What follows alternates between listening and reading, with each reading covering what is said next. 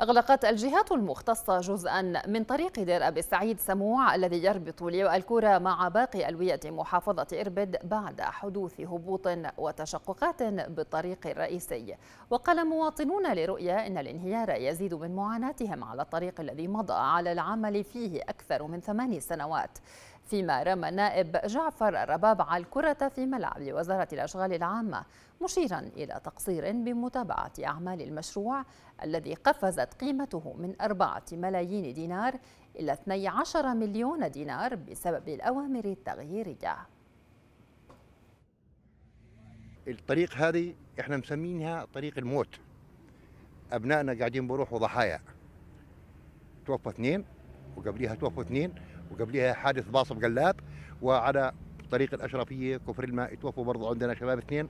فهذولا أنا بقول وبأعلى صوتي يعني آه، أرواحهم راحت هدر بسبيل إنه آه، سوء آه، الطريق المارة باللواء. ابني كل يوم بروح بيجي على إربد بده بده عليه يطمئن عليه على راحته على نفسه.